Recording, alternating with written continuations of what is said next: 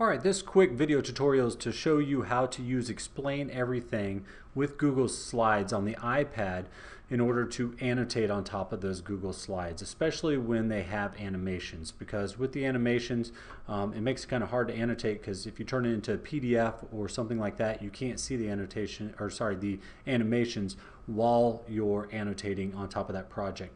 So the first thing you'd want to do is to obviously have your Google Slide presentation created and saved in Google Drive.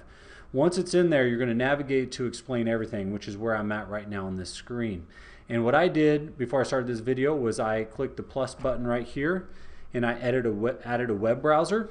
Inside of that web browser, um, I went in and I searched for my presentation and um, my presentation is right here, annotate and um, with animations. So I'm going to go ahead and open up this presentation. Now, with this presentation open, um, I can go ahead and start annotating on top of it, just like the pen tool or the laser pointer, depending on what you're trying to do. And you'll notice I'll just go ahead and uh, underline something there so you can see that I can write actually on this presentation. To get back control of the presentation, because right now I'm on the pen tool, I'll want to get back control of my web browser. To do that, you select the pointer finger in the top left and then double tap the browser. You notice it selects the browser here with kind of a light blue line. And now I can go ahead and advance my slides. Notice I have um, animations in here. I can go back in and I can select the pen tool and continue um, annotating on top of this. Now something you'll want to be aware of is I'm writing physically on top of the presentation here, actually the browser, not the, the actual um, presentation.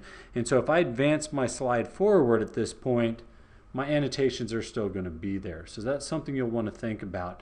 Um, either you only work on one slide of a presentation or the other option is, is not to write on the actual presentation. So I'm going to go ahead and select this browser um, and shrink it down and move it to the side. And now that it's on the side, I can write my notes over here and it won't affect the actual presentation. And I can go back to the presentation and I can go ahead and advance the slides and my notes will still be over here on the right hand side.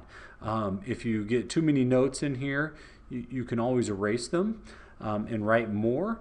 If that's the avenue you want to go, um, I would recommend using the record feature of Explain Everything while you're working, and then you can see um, your notes captured live there.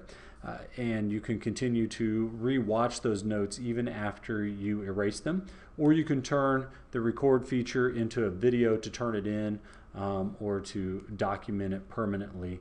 Uh, so basically um, to create you know annotations on top of a Google slideshow while it's live and you can advance slides and you can watch animations use explain everything insert a browser use the pen tool or laser tool to go ahead and annotate um, remember to get back control of the browser to advance the slides use the pointer finger and double tap the browser to get control of it and then you can go forward and backward if you need to at that point. I'd also recommend recording um, so you can watch it again later or turn it in um, to a video when you want to. Hopefully this was helpful.